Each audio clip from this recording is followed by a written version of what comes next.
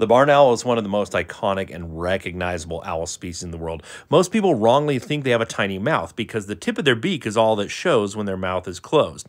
But with their mouth open, you can see they have an enormous mouth, bigger even than you can see in this video. The mouth opens all the way back to behind the eyes. This mouth is large enough to swallow a mouse or a rat whole. But again, when the mouth is closed, all you can see is the tiny tip of the beak and the rest is covered by feathers.